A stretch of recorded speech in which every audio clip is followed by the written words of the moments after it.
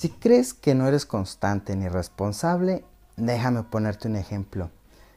Como bien sabemos, Robert Kiyosaki dice que el 95% de la población se encuentra del lado del empleado o el autoempleado. Por lo tanto, es muy probable que tú seas un empleado o un autoempleado. Si no eres constante, te invito a que pienses en tu empleo. ¿Cuántos días trabajas? Una vez que hayas analizado cuántos días trabajas, pregúntate cuántos meses trabajas al año. Y una vez que has analizado cuántos meses, analiza cuántos años de tu vida has trabajado. Entonces, el resultado va a ser tu responsabilidad y tu constancia.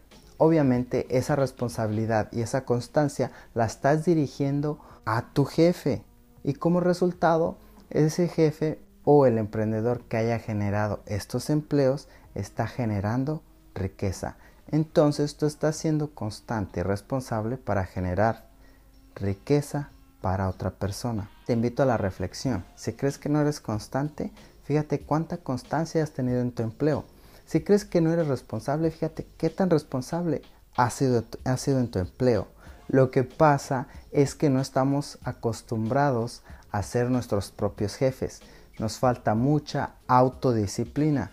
Una vez que nosotros podamos manejar esa autodisciplina y nos podamos dirigir nosotros mismos, entonces nuestra mentalidad va a cambiar y nosotros vamos a saber o vamos a tener la mentalidad de que sí podemos ser constantes y responsables.